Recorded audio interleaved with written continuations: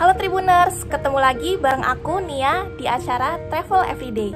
Kali ini Tribun Travel akan membahas soal salah satu hal yang lagi viral di media sosial, yaitu larangan untuk pengunjung mengambil foto di GBK dengan kamera DSLR.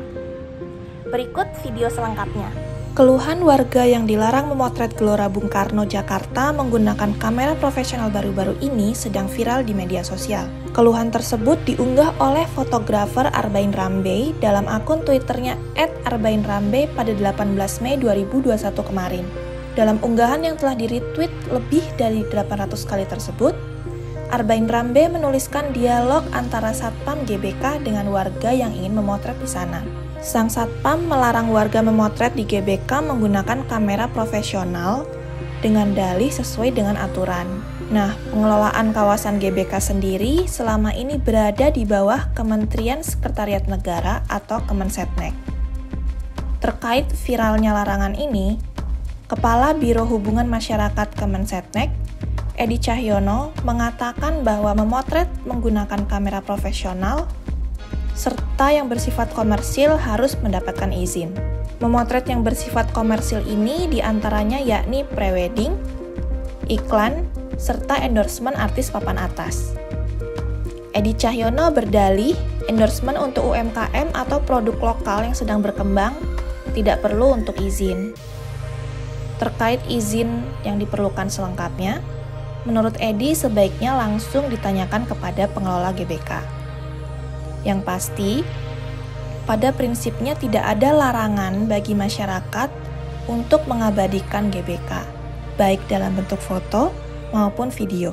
Edi pun mengatakan bahwa permasalahan ini akan menjadi masukan untuk perbaikan pengelolaan GBK ke depannya. Nah, terkait viralnya larangan foto dan video ini, pengelola GBK sendiri juga telah memberikan tanggapan melalui akun Instagram resmi at love underscore GBK.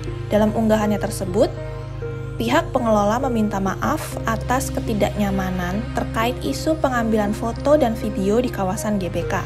Sepanjang tidak bersifat komersil dan tetap menjaga kenyamanan, ketertiban dan privasi pengunjung lain, pengambilan foto dan video masih diperbolehkan. Walau begitu, tetap ada syarat dan ketentuan yang harus Tribuners penuhi nih. Yang pertama, pengunjung dapat mengambil gambar berupa foto dan video di kawasan GBK untuk dokumentasi pribadi.